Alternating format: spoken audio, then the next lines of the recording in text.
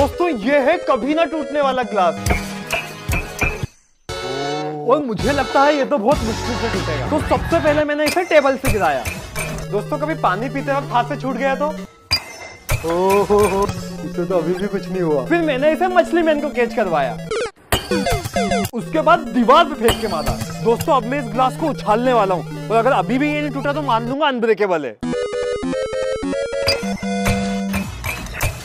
यार इसमें तो अभी भी कुछ नहीं हुआ।